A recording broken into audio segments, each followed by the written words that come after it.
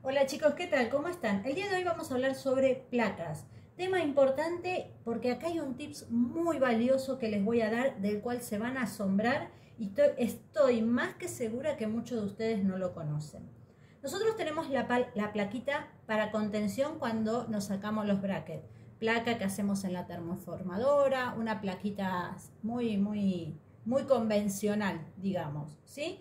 Después tenemos plaquitas que son flexibles, que son para las personas que tienen estrés, que apretan mucho los dientes cuando duermen y las encías sangran. ¿sí? También se hacen para estrés, por ejemplo, para el uso durante el día, para que la persona en vez de masticar chicle, eh, apriete sobre estas placas.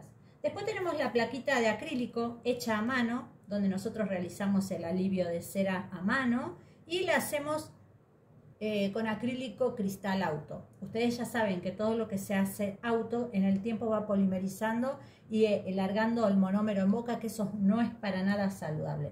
Después tenemos las plaquitas de deportistas, que yo esta ya les enseñé en mis videos en mi canal de YouTube cómo hacerla. Esta es de tres placas, ¿sí? Y después tenemos la plaquita que hacemos con o sin paladar en eh, la mufla, ¿sí?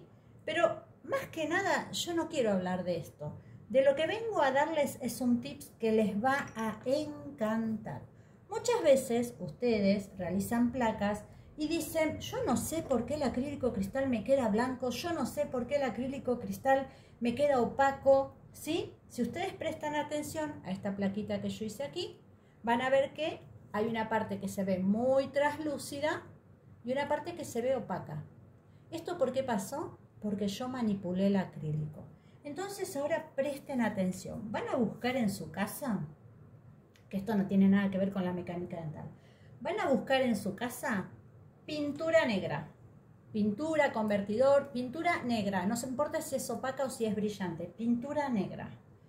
Van a buscar el vaso donde ustedes preparan siempre su acrílico o se compran uno que van a dejar solo para usar con el acrílico cristal y un pincelito viejo porque después lo vamos a descartar ya que esto es pintura y si no tenemos nafta o aguarrás para limpiarlo ya queda arruinado. Entonces, ¿qué es lo que nosotros vamos a hacer? Yo acá lo que voy a hacer primero me voy a poner guantes. A ver, espérenme un segundo.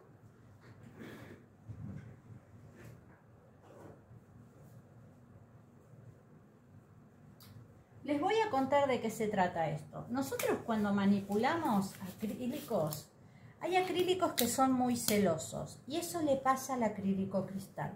El acrílico cristal no es amigo de la luz, ya sea solar o artificial. El acrílico cristal, cuando nosotros no tenemos para pintar un recipiente negro, ¿cómo lo van a manipular? Ya les digo. Van a agarrar, ven, yo tengo acá mi taza que es solo para el alginato, las tengo así identificadas para que no haya problema. Y recuerden, taza para el alginato, taza para el yeso. Si ustedes no tienen para pintarlo al vasito donde preparan su acrílico, al momento de preparar un acrílico para hacer una placa para bruxismo, placa que vamos a cocinar porque es acrílico termocristal, lo vamos a cocinar dos horas.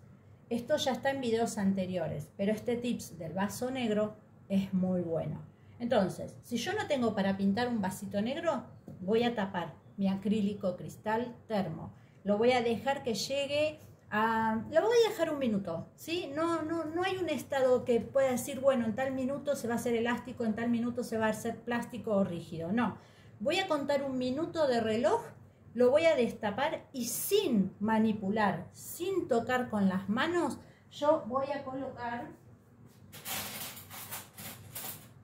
dentro de lo que sería mi mufla, porque ya he lavado cera, todo ese procedimiento ustedes ya lo conocen, van a colocar el acrílico sin manipularlo, directamente del vaso DAPEN a la mufla, ¿sí? Pero si ustedes quieren hacer algo más completo, más fácil y digamos más a mano, porque lo importante en el laboratorio que es trabajar a mano, tener todo a mano, trabajar cómodos. Entonces, ¿qué vamos a hacer? Vamos a pintar este vaso. Lo vamos a dar una o dos capas para que nos quede bien, bien oscuro. Esto que va a hacer que nosotros tengamos un acrílico cristal que no va a tener contacto con la luz, ¿sí? Pueden taparlo después la parte de arriba con un platito o otro vaso dapen, lo invierten, lo ponen a forma de sombrero. Pero esto va a hacer que nosotros tengamos un acrílico cristal que va a ser igual, igual a un vidrio. El acrílico cristal no le gusta la luz. ¿sí? Entonces, si ustedes hacen esto, les puedo asegurar que van a tener un acrílico hermoso, igual, igual a un vidrio, transparente. Miren cómo algo tan simple puede hacer que nuestro trabajo quede sumamente correcto. ¿Ven? Yo estoy siendo generosa, aplicando pinceladas gruesas de pintura. Siempre sean generosos, chicos, para trabajar, en todo lo que hagan. Porque si ustedes, por ejemplo, están haciendo un trabajo y están mezquinando los materiales porque, uy, tengo poco material, voy a tratar de ahorrar. Error. Cometieron un gran error. Por eso dentro del laboratorio está lo que se llama planificación de trabajo. Antes de comenzar a hacer un trabajo, ustedes tienen que fijarse que tengan todos los materiales que necesitan. De esa manera van a evitar tener errores, van a evitar cometer eh, van a evitar desperdiciar material, porque, a ver, si yo estoy por preparar un trabajo, uy, pero el acrílico no llega, ya tengo todo hecho. Coloco el material en mufla y de repente el material no llega a todos lados. Ese, material, ese trabajo hay que descartarlo. Entonces, ¿qué hacemos antes de empezar a trabajar? Planificamos nuestro trabajo. Es lo más importante, chicos. Aprendan a planificar, aprendan a comprar materiales, ¿sí? No todo lo barato es bueno. Hay materiales baratos muy buenos, aclaremos. Pero si ustedes quieren buenos trabajos, inviertan.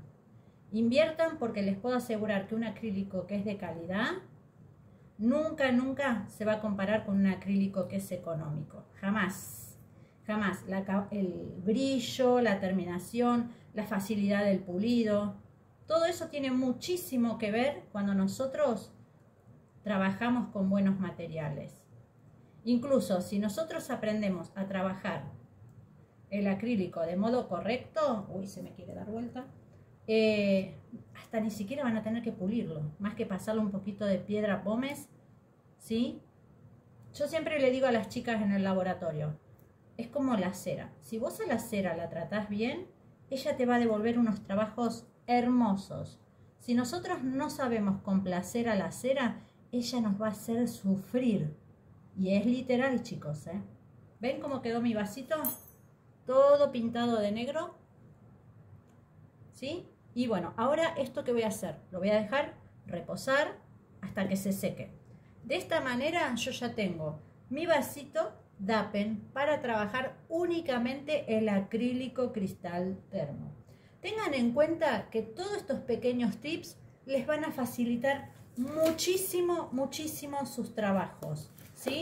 Tengan en cuenta que todos los tips que yo les tiro es porque yo ya me equivoqué, ya cometí errores, ya hice mal las cosas y cuando descubro o asisto a un curso donde dan pequeños tips, yo los, me los traigo al laboratorio, los pongo en práctica y una vez que los puse en práctica y veo que esa, esa forma de trabajar es correcta y me facilita mi trabajo, es cuando yo hago un video para ustedes.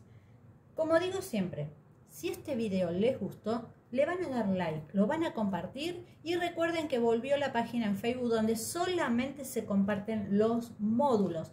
12 módulos que van a encontrar en mi blogspot. Ustedes simplemente van a entrar al enlace y el enlace los va a llevar directamente al a todos los módulos. Muchos me preguntan, entro al, Blogspot y encuentro el módulo 1 y 12. Bueno, margen superior derecho van a encontrar una pequeña lupa y ahí ustedes deben colocar módulo 1, módulo 2, el que quieran ver. Todo lo que se hace, chicos, en esos módulos es gratis. Recuerden que es literatura de buenos autores, de grandes colegas, cosas que yo fui aprendiendo, están volcadas en esos módulos. Agradezco a los seguidores Recuerden, 24 de diciembre, 3 de la tarde en vivo, aquí en YouTube, vamos a sortear a una de las cinco postulantes que llegaron hasta el final para la beca 2022. Les mando un beso grande y espero que este video les haya sido de utilidad. Un besito chicos.